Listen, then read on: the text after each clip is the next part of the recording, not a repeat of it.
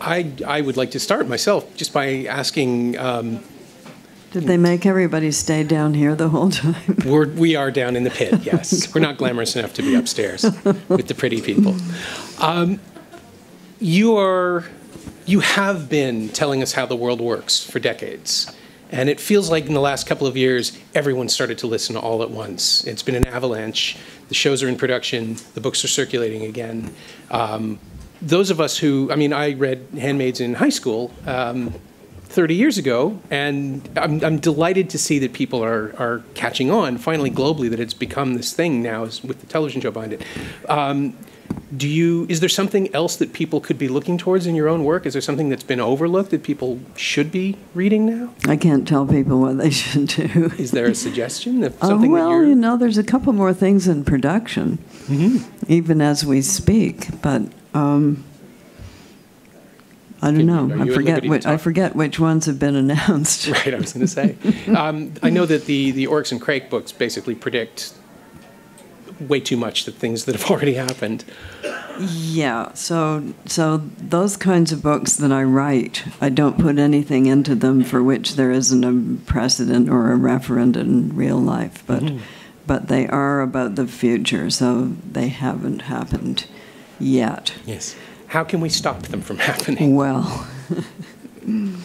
uh, which which thing you, would you like to stop today?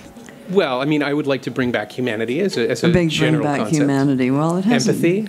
gone away. It's uh, um, a number of countries are under a lot of pressure, but a number of other countries have made a lot of progress, and even in the United States, which people sometimes look at in despair, there's there's a huge amount of um, activity going on at at state and local yes. levels.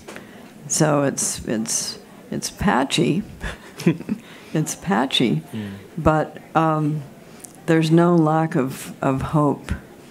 Uh, even south of the border, I just came back from Texas, and I had a lot of earfuls of of things.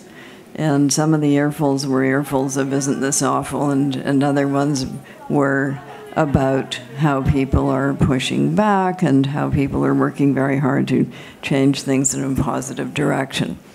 So if if things were as they are in The Handmaid's Tale, I wouldn't have been allowed in Texas. I certainly wouldn't have been allowed to speak. Sure. And the people who were talking to me would have been in jail or hanging from the wall. So we're not we're not in that society yet.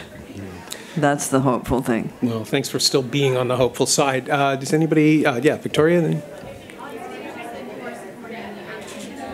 Yes.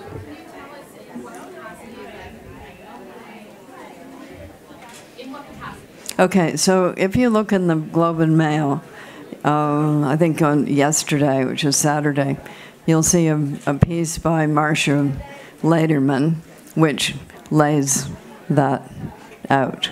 So, as a kickoff uh, financial supporter, and as um, I'm, I'm doing two events in April, one of them is the Young Women in Law event here, and the other one is the Variety magazine um, Power of Women lunch. And both of those allow you to take the the proceeds proceeds from the event and channel them into a charity of your choice.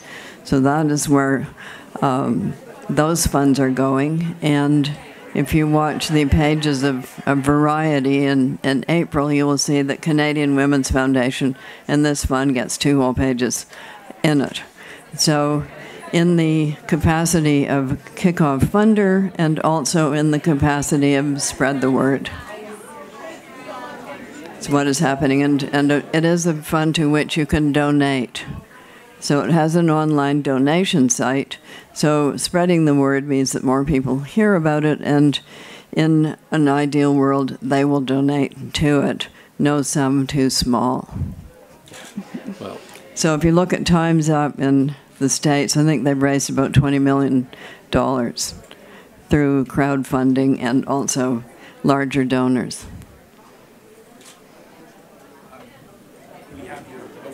Oh, thank, here it is. Okay, here we are. I know, thank you.